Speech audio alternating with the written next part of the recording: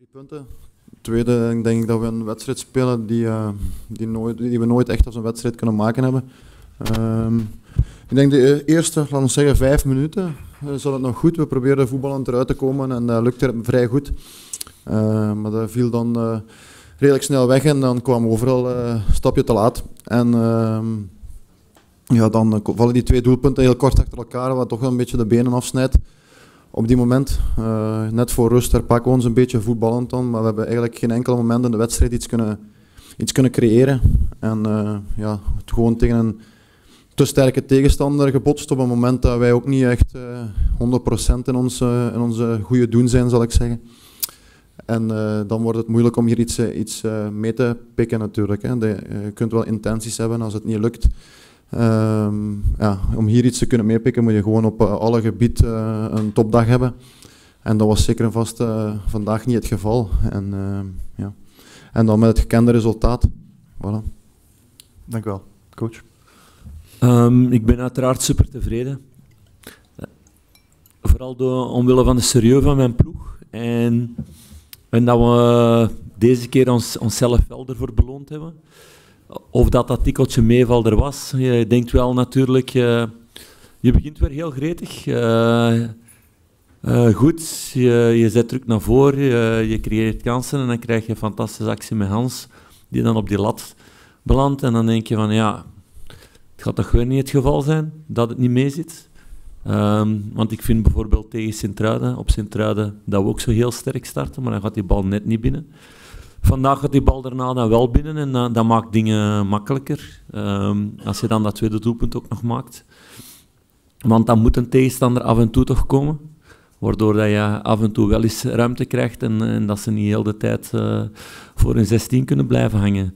En mijn speler heeft dat gewoon uh, heel goed gedaan vandaag. ervoor blijven gaan. een derde doelpunt gemaakt.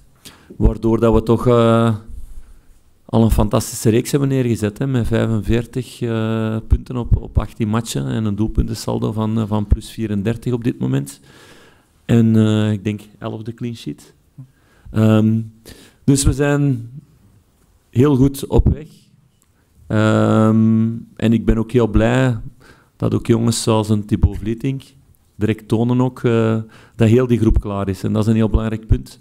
Voor mij op dit moment is het moeilijkste aan mijn job. Um, om elf spelers te kiezen voor de volgende wedstrijd die het beste zijn voor die omstandigheden.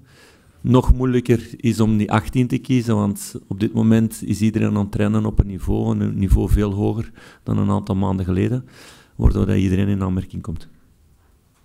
En laatste punt, sorry, Kirsten. Uh, laatste punt waar ik ook heel blij over was, was, uh, was de sfeer in het stadion. Hè. De, op de manier dat de supporters ook um, de spelers steunen en, en vooruitstuwen in wedstrijden dat je weet dat moeilijk is tegen uh, een stugge tegenstander die al heel veel goede en mooie dingen heeft laten zien dit seizoen. Dus dat is ook zeker uh, een plan waard. Dank u wel. Zijn er vragen?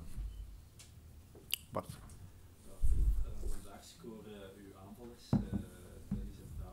Dan ben je blij, hè, want daar weet je al een tijdje op ontwachten. Nee? Je bent er al een tijdje op ontwachten, dus dan ben je blij dat ze gescoord hebben.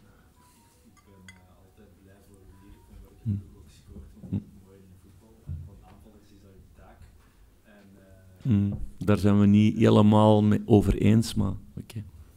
Dus je bent niet specifiek blij voor Tennis vandaag? Nee, ik vind dat niet zo super belangrijk. Ik heb dat de voorbije weken ook gezegd. Uh, het is belangrijk dat, dat iedereen kan scoren, want als je een ploeg bouwt met één of twee spitsen die kunnen scoren, en al de rest niet, is gewoon veel, veel gemakkelijker om lam te leggen. En we willen een soort voetbal spelen waar iedereen kan scoren en het gevaar van alle kanten komt om, uh, om juist die voorspelbaarheid kleiner te maken. En ik vraag gewoon veel meer van mijn spitsen um, ja, dan, uh, dan coaches die, die richten op een spits die alleen moet scoren. Dus ze moeten veel meer doen en daar ben ik vooral blij over. Dat heb ik vandaag ook gezien. Um, ze hebben goed hoog druk gezet, ze hebben ruimtes gemaakt voor andere mensen en voor elkaar. En ze hebben erbij nog eens gescoord. En dat is dan een surplus, maar dat is niet het enige dat belangrijk is. Ze hebben hun taken goed uitgevoerd. En ze zijn na de 2-0 ook collectief blijven spelen en uh, niet gaan denken van alleen aan hun eigen productie. Ze hebben geprobeerd om andere jongens goed aan te spelen en collectief te blijven spelen. En, uh, en dat vind ik een grote stap vooruit. Frank. Als je zegt van uh, er wordt heel, op een heel hoog niveau getraind, wil dat ook zijn dat er ook nog eens sprake is van mentale of fysieke vermoeidheid na de opeenvolging van wedstrijden? Ik denk dat dat blijkt met vandaag, maar ook met uh, woensdag tegen Real Madrid. Tegen Real Madrid hebben we ons beste fysieke statistieken gehad van heel het seizoen. Qua afstand, qua high intensity runs. En, uh, en de spelers verteren de dingen goed. Um, maar daar zijn we ook al heel hard aan het werken geweest. Dat is niet uh, een verhaal van deze week. Dat is iets waar we in de voorbereiding mee gestart zijn. Jullie hebben ook de voorbije maanden gezien um, dat de spelers ook die niet speelden of op de bank zaten, ook na elke wedstrijd extra liepen. Ook op de vrije dagen, ook de dagen na de wedstrijd, dat er zwaar wordt getraind met die jongens. Waardoor dat een Thibaut Vlieting ook dit niveau kan brengen, hè, na vier maanden niet gespeeld hebben. Dus dat is een, dat is een pluim voor, uh, voor mijn physical coach en voor, voor de rest van de staf, die daar ook veel meer mee bezig zijn. Um, en op die manier groeit heel die groep qua niveau. Uh, ook de jongens die, die misschien aan minder speelminuten toekomen. Bart. Je zegt dat uh, onder andere je spitsen die een belangrijke stap van dat collectief spelen gezet hebben. Ga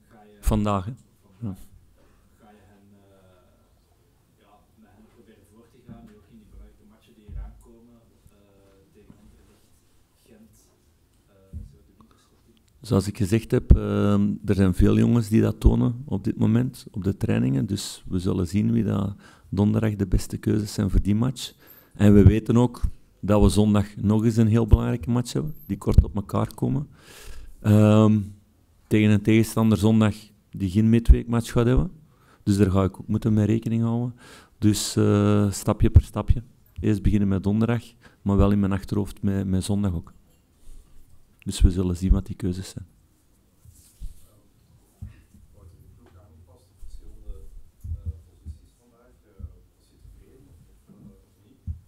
Mm.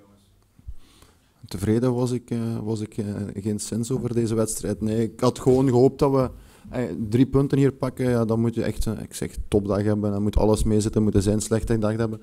Dus dat je hier komt verliezen is op zich geen erg. Ik had wel gehoopt op meer tegenstand en meer dat we meer konden brengen eigenlijk. En ja, met, met extra fris, uh, met jongens die even op een kans aan het wachten zijn, misschien met meer frisheid, meer energie.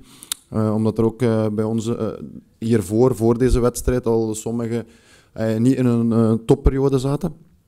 Maar goed, vandaag is dat niet echt wat uiting gekomen.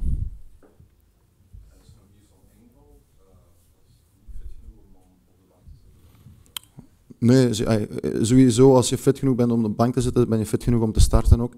Dus uh, bij die had een, uh, een elongatieletsel en uh, hij komt uit een zware een blessure, een lange blessure. Hij heeft denk vier maanden of zo geen, geen fatsoenlijke wedstrijd gespeeld. En vorige, vorige week zijn eerste hele wedstrijd dan. Om dan nu een risico te gaan nemen na die lange blessure met zijn, met zijn letsel, vond hij zelf ook natuurlijk geen goed idee. Want dan kan je de rest van van het jaar zeker een vast hypothekeren. Laatste vraag, Niels. Nee, dat was gewoon uh, ja, die moeilijke, een van die moeilijke keuzes. Hè. Uh, waar dat hij met een aantal andere jongens ook zat, waar dat een moeilijke keuze voor was om uh, zijn Indie-selectie te hebben vandaag. Dus ja, dat, dat hoort erbij. Um, tegen Real Madrid was Alois Openda, bijvoorbeeld. Um, ja, dat is, het moeilijke op dit moment, inderdaad omdat je, ik, zou ze liefst allemaal kunnen zetten. Op dit moment. En dat ze allemaal die minuten kunnen pakken. En, en kunnen tonen wat ze, wat ze elke dag op training tonen. Hè. Want ja, dat wordt af en toe wel eens vergeten. Um, dat is het moeilijkste aan die job. Elke dag zo hard werken en tonen. En ook je goede vorm tonen op die training. En toch niet kunnen tonen aan iedereen. Dus uh, dat is niet evident, maar tot nu toe ben ik heel tevreden over de reactie van iedereen uh, binnen dat verhaal. Um, daar kan ik op dit moment nog, uh, nog niks echt met zekerheid over zeggen. Die kans bestaat, maar dat is, dat is geen zekerheid. Dank u wel.